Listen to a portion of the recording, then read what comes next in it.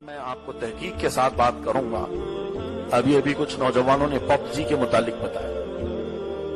یہ کوئی مذاق اور لطیفہ نہیں۔ جانتے ہیں آپ اس میں پورا اللہ کے نبی صلی اللہ علیہ وسلم نے جو بشارت دی تھی وہ پورا میں نے اس میں دیکھا۔ قیامت سے پہلے ایک عظیم جنگ ہوگی، جس کا نام الملحمت القبرا اس سے بڑی جنگ نہ دنیا میں کبھی ہوئی اور نہ کبھی قیامت تک ہوگی۔ وہ جنگ ہونا باقی ہے۔ ملک شام اس کا میدان بنے گا۔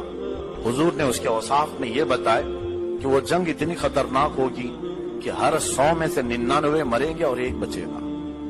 اور اس پوری جنگ کو اللہ کے نبی نے فرمایا الملحمت القبرا اس میں شریک ہونے والے اور جہاد کرنے والوں کی تو فضیلت ہے، لیکن اس کے علاوہ جو کفر، ارتداد اور فسق و فجور پر لڑیں گے، ان کے لیے دوزک کی وعید ہے، جہنم کی وعید ہے۔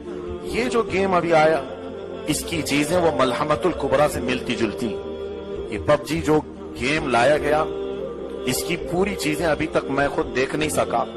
لیکن جتنا میں نے معلومات حاصل کیے ہیں، اس میں یہی ہے کہ شوٹ کرنے کا طریقہ سکھایا جائے کیا آپ گاؤں کے گاؤں پورے اپنی گن سے ویپن اس میں ہے پورا گروپ بنا کر کے شوٹ کرو۔ یاد رکھو، آپ جس کو شوٹ کر رہے ہیں یہودی اپنی بزنس کے لیے یہ سب چیزیں تمہارے گھر میں لائیں۔ اس کی بری نحوست ایسی ہے کہ ماں پکارتی رہ جاتی ہے، اس کی توجہ اس گیم سے ہٹتی نہیں۔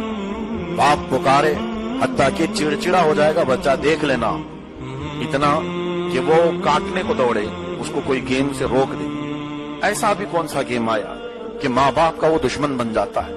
دو تین دن اگر کھیلے گا، دشمنی اس کے دل میں گھر کرنے لگے اور پھر ہم وقت اس کے ہاتھ میں ویپن اٹھانے کا ایک جذبہ آتا رہے گا۔